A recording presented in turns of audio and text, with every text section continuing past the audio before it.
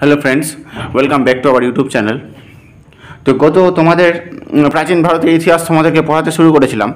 তো প্রাচীন ভারতের ইতিহাসে এর আগের দিন যে বংশটা আমরা করেছিলাম, সেটা ছিল শিশুনাগ বংশ। তো শিশুনাগ বংশের ঠিক পতনের পরেই ভারতবর্ষে নন্দ বংশের প্রতিষ্ঠাতা হয় মগধে। হুম, মগধের সেই বিশাল শক্তিশালী রাজা ভারতবর্ষের এবং সেখানে নন্দ বংশের প্রতিষ্ঠাতা হয়। তো নন্দ বংশের যে প্রতিষ্ঠাতা হয় তো আমি বলেছিলাম যে মহাপদ্ম নন্দ নামে একজন নেতা বা কালাশক বা নন্দ, এই শিশুনাগ বংশের যে শেষ রাজা কালাশক কালাশক ও তার দশ পুত্রকে ছুরি দিয়ে মেরে তারপরে তিনি সিংহাসনে বসেন। এবার সিংহাসনে বসার পর বলা হচ্ছে, মহা মহাপদ্মনন্দ ছিলেন নন্দ বংশের প্রতিষ্ঠাতা এবং পুরাণ ও জৈন গ্রন্থ অনুসারে তাকে শূদ্র বলে অভিহিত করা হয়েছে। কেন শূদ্র বলে তাকে অভিহিত করা হয়েছে?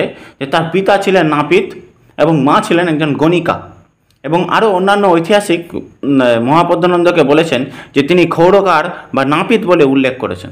ঠিক আছে? যাই হোক, এই জন্য শূদ্রবংশীয় রাজা, এই জন্য একে শূদ্রবংশীয় রাজা বলা হয়। যে নাপিত এবং হয়েও তিনি সিংহাসনে বসেন এবং যাই হোক, তিনি শূদ্রবংশীয় রাজা। তো যাই হোক, মহাপদ্মনন্দ সম্পর্কে আমরা পড়ব যে বলছে, তিনি সকল ক্ষত্রিয় রাজাদের উচ্ছেদ করায় দ্বিতীয় পরশুরাম উপাধি ধারণ করেন।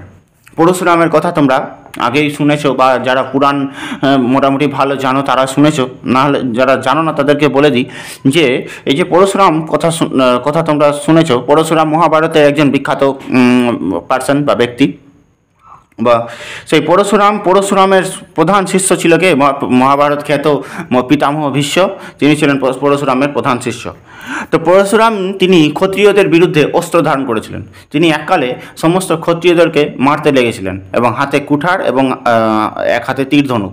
এই দুটাই তার অস্ত্র ছিল। এই অস্ত্র নিয়ে বিশাল যোদ্ধা মানুষ তিনি ক্ষত্রিয়দের উপরে অত্যাচার চালিয়েছিলেন।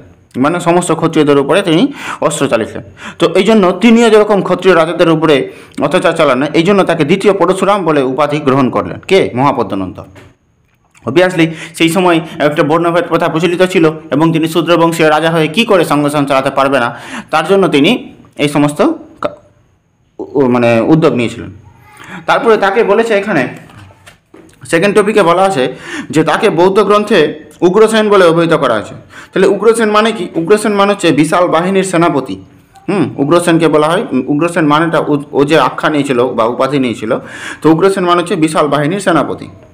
আর দ্বিতীয়তে লেখা আছে যে, মহাপদ্মানন্দের পর মহাপদ্মানন্দের পর তার পুত্র, আটটা পুত্র একসঙ্গে সিংহাসনে বসেছিল। আটটা পুত্র মানে পরস্পরভাবে সিংহাসনে বসেছিল। তার নাম আমরা ঠিকঠাক আজ পর্যন্ত ইতিহাসের পাতায় আমরা খুঁজে পাইনি। তো সেই নামটাকে নবনন্দ বলে তুলনা করা হয়েছে। ঠিক আছে? তো এতটুকুটাই মনে রাখার বিষয় এখানে। আর এই বংশের শ্রেষ্ঠ রাজা হিসাবে আমরা নাম পাবো ধনানন্দের। এই যে তোমরা লেখা যাচ্ছে এবার ধনানন্দ ছিলেন অত্যাচারী, স্বৈরাচারী শাসক।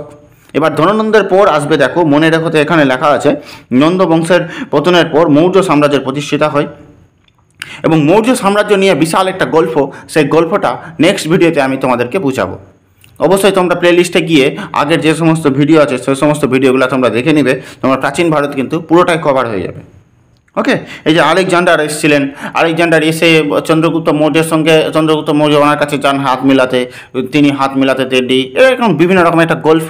সেই গল্পটা আমি এর পরের দিন শোনাবো এবং মৌর্য বংশ শুরু করব। তাহলে আজকে এতটুকুটাই নন্দ বংশের শেষ। মানে প্রথমে আসলো তোমার ষোড়শ মহাজন পথ ষোড়শ মহাজন পথ থেকে আসলো হরজঙ্গ বংশ, হরজঙ্গ বংশের পরে শিশুনাগ বংশ, শিশুনাগ বংশের পরে নন্দ বংশ ওকে নন্দ বংশের পরে এবার আমরা মৌর্য বংশতে ঢুকবো এরপরে ভিডিওতে। তাহলে অবশ্যই সাথে থাকো এবং যদি কোনো অসুবিধা হয় তাহলে কমেন্ট করে অবশ্যই জানাবে। ওকে জয় হিন্দ, জয় ভারত।